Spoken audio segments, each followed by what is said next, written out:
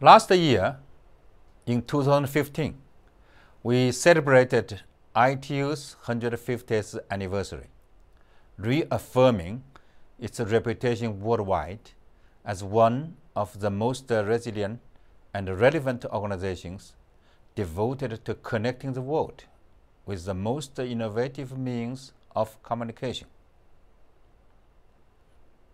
As we celebrate World Telecommunication and Information Society 2016, marking the establishment of ITU on 17 May 1865, we continue to look to future advances in communications. We focus our attention this year on ICT entrepreneurship for social impact.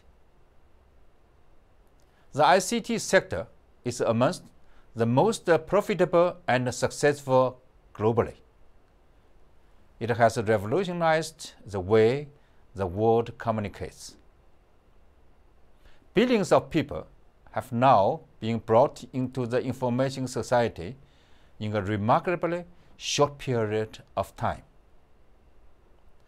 We are now in an increasingly smart, networked environment encompassing cloud computing, big data, and new applications in diverse areas ranging from health to finance, while moving towards a future of smart transport systems and cities. With advances in infrastructure and connectivity, new services and applications will grow along with the potential for many innovative smaller players to enter the market with solutions to address local needs. ICT entrepreneurship is set to bring about significant social impact.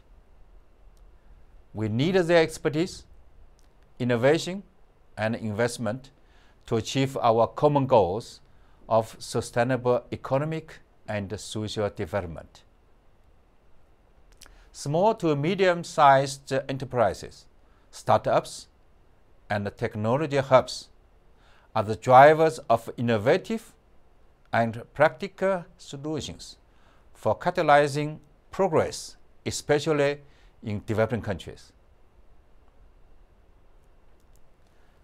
SMEs make up more than 90% of all businesses worldwide and represent a path out of poverty for many developing countries.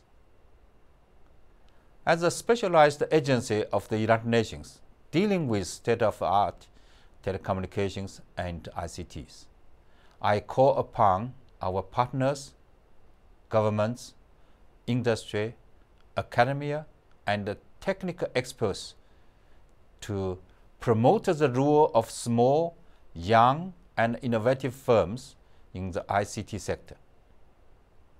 Encourages the spread of uh, digital social innovation. Prioritize economic uh, policies which promote innovation.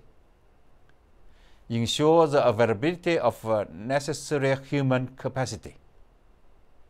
Support the establishment of comprehensive entrepreneurial ecosystems, as well as assist entrepreneurs in moving from idea and innovation to sales and revenue.